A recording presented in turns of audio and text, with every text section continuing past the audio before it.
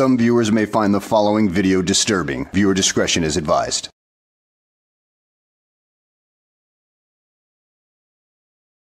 Well, hello and welcome back to the channel, everybody. In today's video, we find ourselves out in South Carolina where a moronic frauditor decides that he wants to push uh, the wrong buttons and, well, ends up with 60 days for contempt of court. Well, that's what happens when you act like a complete, a total moron who wants to act like he uh, knows better than anybody who's a lot more educated than he is. So let's go ahead and sit back, relax, and enjoy the show. Mr. Bowen, you're recording again? Yes, sir. Okay. You were advised of that, correct? In what regard? That you can't record at that window. What law is that? The order of the Chief Justice of the Supreme Court. I'm not arguing with you. All right. All right? You're going to be removed here in just a moment. You've been told you can't do that. right? What law did That's- I break? That order, can you read English? I don't think that's a law because that's Okay. the Supreme. That's, That's- not a that's- legislative branch, the That's Supreme the order Court. of the court. I'm not arguing with you. All right. I'll tell you what, just have a seat and I'll be back with you in just a few minutes. All right. Yes. Thank you. How are you all? Great. Good.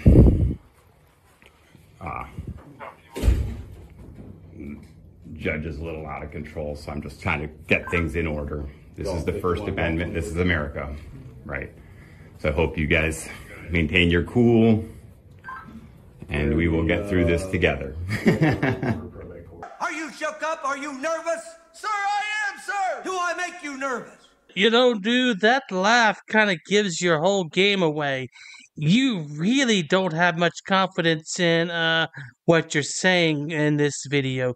You're just doing it because you want to look cool in front of your frauditor friends, is that right? It's okay to admit that you're a moron because admitting it is the first step to recovery. And then you can uh, learn from that mistake and, uh, well, try harder next time not to be such a moron.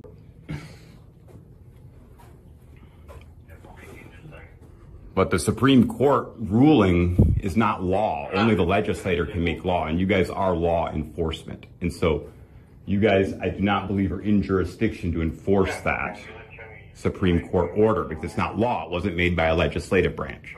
That's why it doesn't have a law code. There's no penal code associated with that. And actually, when you read the Supreme Court opinion on that, it says that the judge may have the right to sanction me and it's hard to say what those sanctions could be, but there's no threat of arrest that would be legal.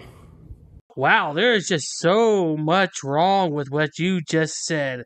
While, yes, the, the legislative branch does create laws, the judicial branch does have the right to control their own buildings per the United States Supreme Court. And so many other frauditors have found out the hard way that they just can't walk into a courthouse with a camera and act like a complete moron without getting arrested. I mean, good freaking grief. It happens every other week where a frauditor comes along and tries it inside of a courthouse and they end up leaving in handcuffs. And this is mostly due to the misunderstanding of the uh, public forums doctrine, which they believe doesn't exist. Uh, but the courts certainly believe it exists. If because it's a Supreme Court ruling, right? It's not if it was if it was the state legislator that made the rule, certainly it would be enforceable by law. But it's not the state legislator. If we look at this ruling, it's a administrative order is what it says. Oh boy, a frauditor who actually provided a citation by pointing it out on the wall.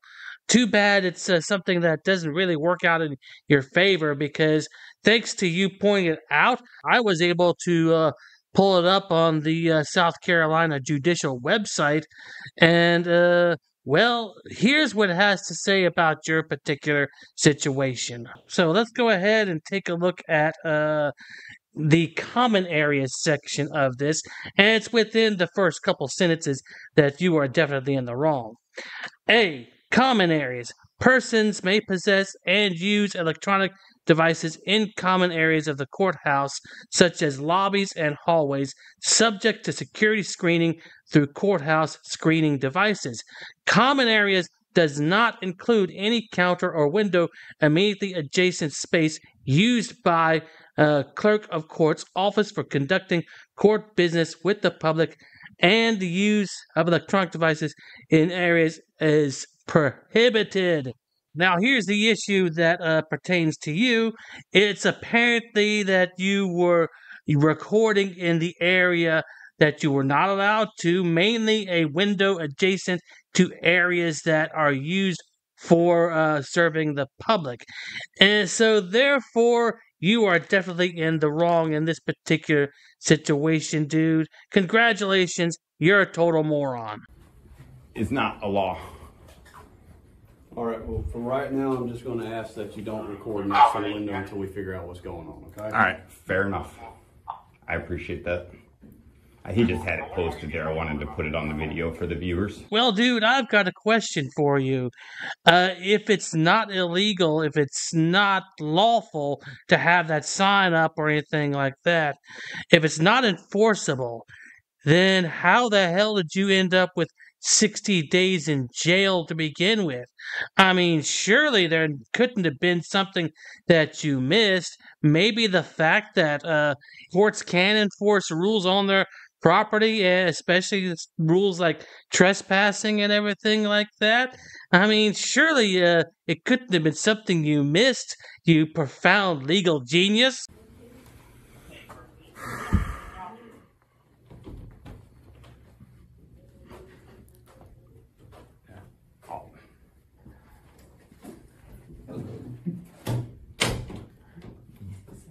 Yeah, of course, You yes. can go.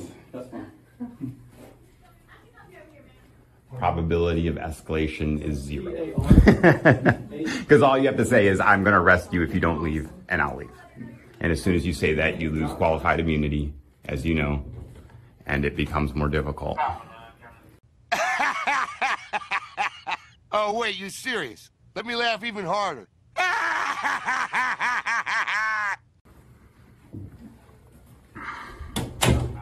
Judge is in his office, we're just waiting for him to come back out. of the-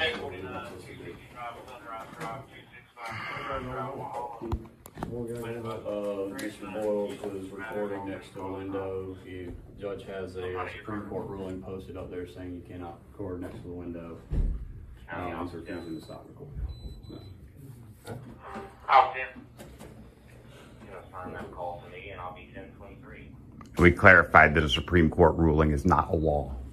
And so if the Supreme Court had ruled on a case, it would follow under a legislative amendment to the law, which then would make it enforceable by law enforcement. But if you look at that administrative order, it very clearly says that in the extreme circumstance, the judge can sanction me. There's no penal code associated with that order. And so you guys are law enforcement.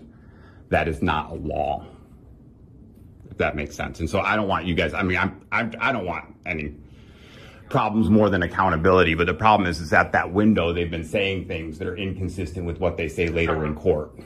And to say that I can't document my First Amendment right to document a conversation, a private conversation between me and a public official, is wrong. And so I would like to somehow challenge that to the state Supreme Court but he has to sanction me for that to happen.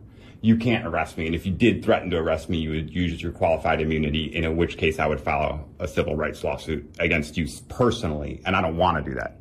So you use, lose your qualified immunity, I can sue you in your individual capacity outside of your law enforcement profession. And so we clearly don't want that. No laws have been broken. A question, you lame brain frauditor. Uh, how many delete laws videos did you have to watch to uh, poison your mind in such a manner that you go out and do this kind of thing with all this misinformation that frauditors like him put out? It's putting the more gullible minded uh, members of our society into great danger uh, because they uh, lack the ability or understanding the nuances of how the law works and uh, believe that Chili's uh, interpretation is the only interpretation. So yeah, I wonder how many more people Chili's going to end up putting in jail because people listen to this moron. Only the defiance of a Supreme Court order. Thank you so much. This judge is out of control. He is an out of control judge and he needs to be removed from the bench.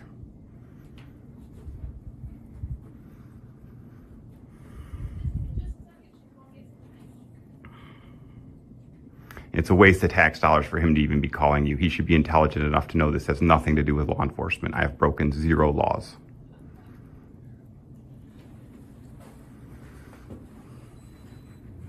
What's your name, sir? Jason Boyle. Mr. Boyle, I'm Sergeant Sayer with Sheriff's Office. I, I came up a little, little late. Um, so, uh, again, I came up a little late on. Oh, you're fine. Uh, What's, what's the? Singleton's been making like harassing and illegal and bias. He take cases when his friends are the in the cases, and so we've been contesting his behavior in general, and he doesn't like it. He's on a power trip. He's got an authority issue.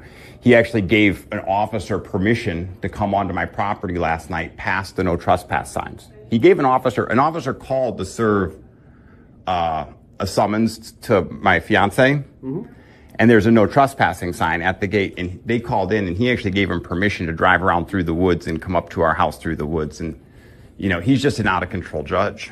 That's So all. what- So what, what's happening today? Like, like Oh, right? I'm just, I, I I'm sorry. oh, again. so, all right, all right. So I, I have had interactions at this window where after the fact, the story from the judge is inconsistent with what actually occurred at the window.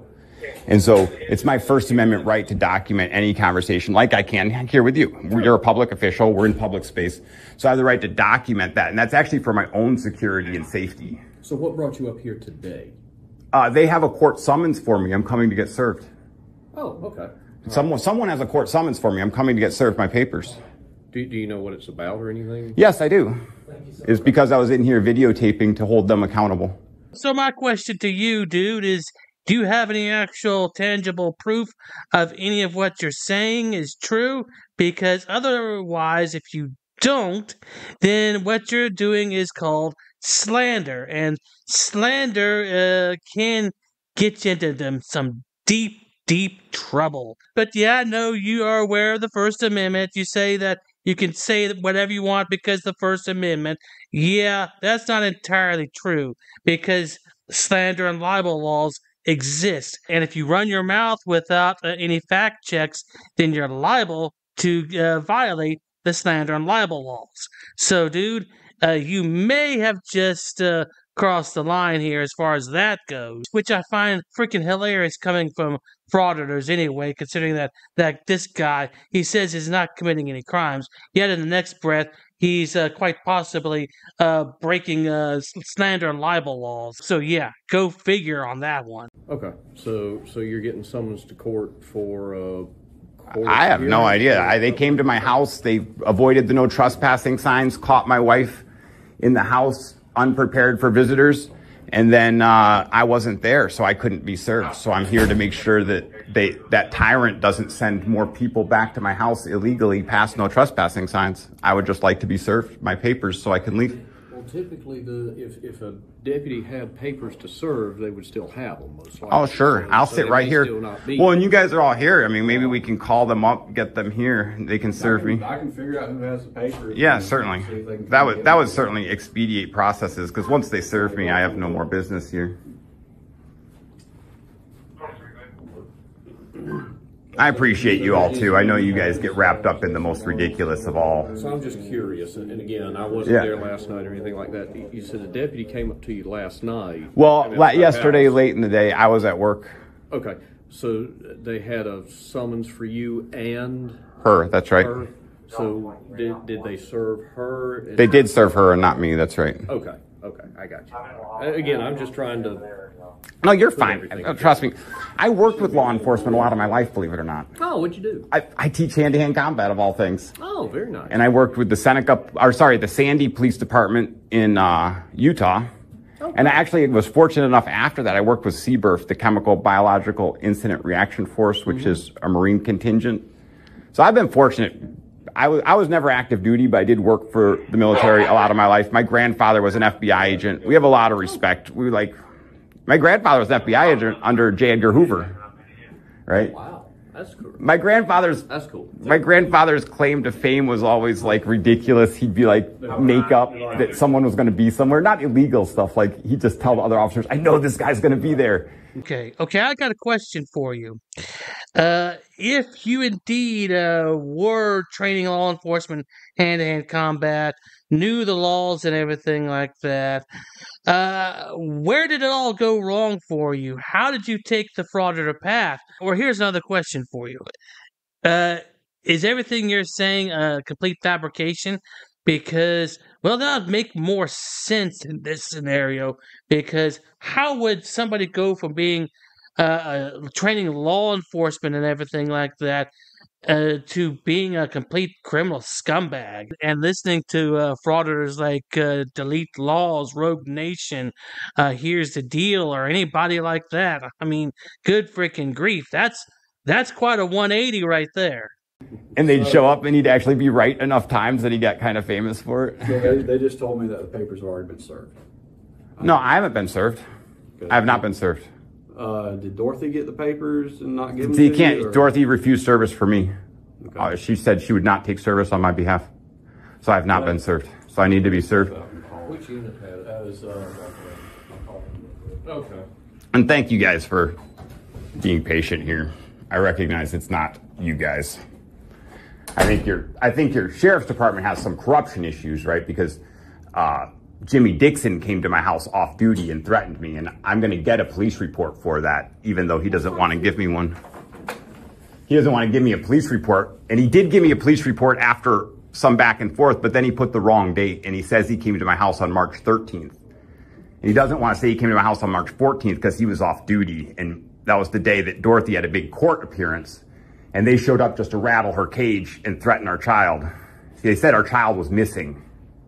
But the police showing up at your house talking about your child when you're on your way out the door to a major court appearance rattle it rattled Dorothy. It worked, but then I went and filed a FOIA request, and immediately the woman at the front desk started saying, "No, I was wrong. It couldn't have been Jimmy Dixon, not today, on March 14th." And the reason they said that was because he wasn't on duty. I then called the next day and confirmed that he wasn't on duty the day before through the dispatch, but then they erased that call from the 911. I actually called and had a long conversation with Chet Crenshaw and Jimmy Dixon. I secretly, I didn't secretly record. It's a one-party state, so I recorded some of the conversations, but I didn't get all of them. And so I'm hoping, but they erased, they erased my 911 calls, which is beyond frustrating because that was the most powerful evidence. Hmm. But I have record of the calls that I made to dispatch on my phone and the length of those calls, one of them 12 minutes. And they say they have no record of any call to dispatch at that time and day. There's four calls missing from the dispatch record. Person? You said you're missing. Yeah, they said, well, they were just trying, they just wanted to rattle my wife because she was headed to court, right, against their friends. And then, um, basically Jimmy Dixon showed up and said that my son, who is about a year old, little, little over a year old, was, uh, hadn't been seen in two weeks and he needed to follow up. I was like, I don't like this. No, you can't come on the property, right? And then, uh, but I said I would bring the kid to the police, to the sheriff's department to check in. It seemed reasonable, bring the kid. But then he said he didn't need to see the kid, and I realized that there was uh, another kind of issue. If you're going to the counter, sir, I'll lower the recording. I'm not trying to record third parties. And if I did accidentally, I will edit them out, out of not because it's legal, but out of politeness to this probate court can be a sensitive place. Oh man, uh, this is good. Uh, this is the first good thing I've seen out of you so far. You have uh, recognized a uh, moral issue with recording people who don't want to be recorded. Uh, yeah, uh, so there is some hope for you because every other frauditor out there has fallen so far down this rabbit hole that uh, they st- they don't see the uh, issue with recording people who just don't want to be recorded. I mean, uh, they tend to get even more antagonistic toward the uh, regular people that just don't want to be on camera. In fact, they tend to lash out at them as if uh, they are uh, they're nothing more than uh, well peasants out there, as if there's nothing more than uh, tools to be played with out in the field. You, on the other hand, still believe there's a line there. Uh, so yeah, good on you for not completely falling for the BS. Maybe you can come back to the light. Something Judge Singleton doesn't understand. He thinks he's a magistrate judge. So I doing talked to the uh, deputy that served your papers. They served them to uh, Dorothy. That's not a legal service. It is. It is not. Tho- Those papers are authorized for subservice. They can serve them to any adult within the household. So if Dorothy didn't. That's give so you- if- boring. I was if, so excited to get served personally. If Dorothy I really didn't- wanted if that. Dorothy hadn't given you the papers yet, then you might want to talk to her. But he did give the paper. Uh, the papers I was with Dorothy all morning. No, I didn't get any papers. Okay, so she has the papers. Uh, papers have been served. Perfect. Okay. All right. Excellent. Thank you all. And if No you don't mind, I'll be the last to leave just because it's my standard. I can't make things too easy. Well, I, I I understand that, but, you know, I, I just, I'm sorry, tell me your first name again. I'm Jason. Jason. I'm, so- I'm terrible with names, Jason. Oh, it's all right. I apologize. I'm nothing You know, talking to personal. thousands of people. Would you be willing to do me a favor? What's that? Instead of being the absolute last to leave, would you walk out with me? Uh, sure, we leave out of together. politeness, but I just want to say one thing. The reason that judge doesn't want me here is because he's crooked. He's a crooked judge, and he needs to be taken out of his bench. And I'm going to do my best to make sure that that happens as quick and fast as absolutely possible. And Jason, that's what, I'm. And, and, then and then with that, we're legally agreeing I have the right to stand here. Correct? Sorry, I'll edit you out of that, sir. I, I legally have the right to stand here. I'm not leaving by force of law. Correct? That's great. I'm asking, you said you wanted to be the last to leave. That's right. I'm asking for a compromise. All right, I'll take it. So yes, if if I'm the second to last to leave, I'll take it.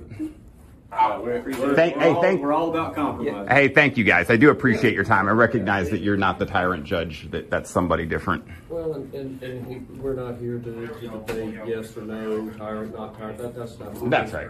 We just want everybody else in the building to have a peaceful experience to the best of our ability. That's right. And I don't want you saw I wasn't filming third parties and things like that. I was doing my best to make sure. Even I'm not filming you now because there's a gentleman sitting behind you. So That's fine, and, and, and again, uh, that's all I'm asking for, is see, just like I promised. no, and I appreciate you guys being so polite and kind. Like I didn't I didn't know where that was gonna go. Our, You our goal, our goal is to try to reach a peaceful resolution, to, you know, we understand. Well, right, but realize there's corruption within your department. Jimmy Dixon proved himself corrupt, and then Crenshaw covered for him. And so now I, I know that those two are corrupt. And so, like, I, I'm not against officers in general. You know I'm not. You can feel that. And, and you also understand too that we all, you know, if, if I'm not here to, to say yes, no, whatever, corrupt. That's a, you know. I'm- of course not. To me? Oh, yeah, I'll happily come back.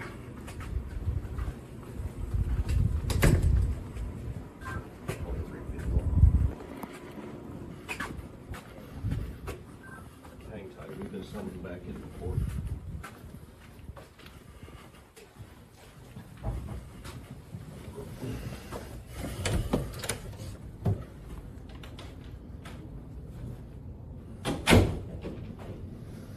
See where this goes.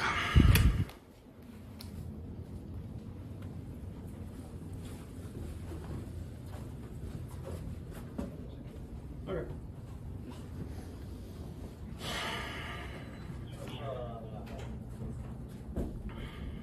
Hey, Ron. Hi, Mr. Boyle, would you like to delete your recording or be held in contempt of court? Uh, I'm not deleting my recording. Okay, all right, you're in contempt of court, you're sentenced ten days in jail, take him into custody and take him to jail.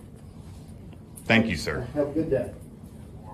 And there you go. This moron of a frauder ended up not only getting 10 days uh, for contempt of court, but he ended up getting another 50 days tacked on to that in his appearance before the judge. I mean, what kind of a moron do you have to be to piss off the judge that much to get 50 more days? Oh, wait, never mind. Chili did that, only he got uh six months out of the deal. Oh boy, what a moron he is. But of course, if this guy's gonna follow in Chili's footsteps, then uh well, I wish him luck because he's gonna have a lot of jail time ahead of him because he's nowhere near as intelligent as Chili is, and uh, well, Chili isn't very intelligent at all. So at any rate, guys, I hope you enjoyed the video. Thanks for watching, and I will see you on the next one.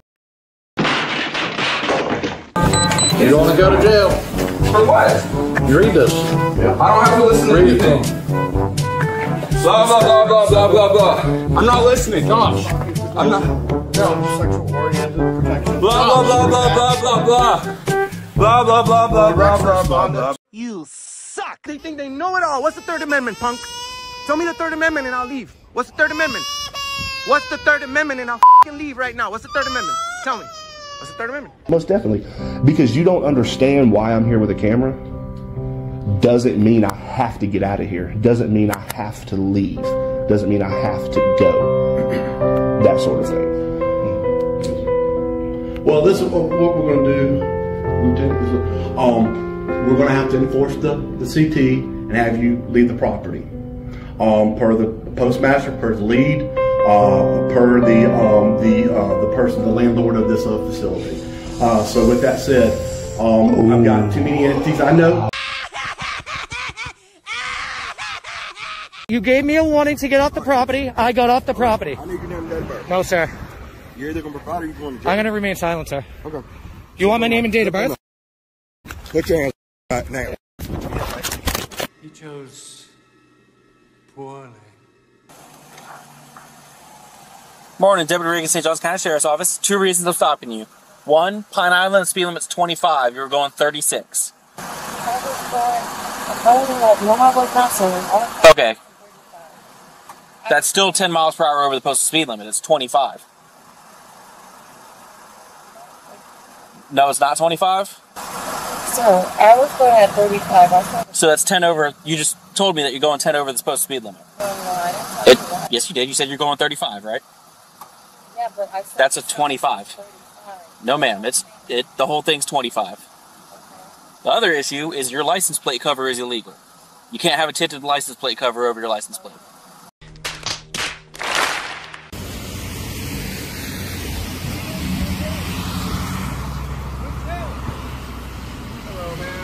Hi. How are you? Okay, I'm doing good. Well, you're detained right now. You're not free to leave, okay? Why? I've been calling after you. You know you're not to be on campus. No. need Put the phone down. She Yes. asked me to leave and I left. No, ma'am.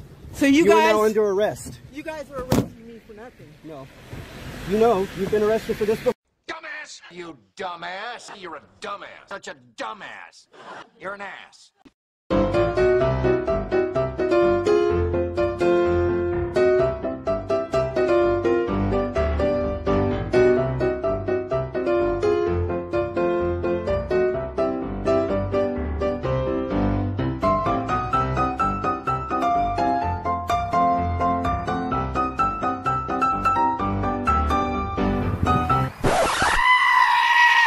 Dude, so there's no way I can get in, bro? Come on, I'll put you on my YouTube. But shut up, Wesley. You got to put signs up, ma'am. If it's Are you Glenn Serio? who's that? You know why you're kicking me out? Because you don't want what, someone watching a movie in the courthouse.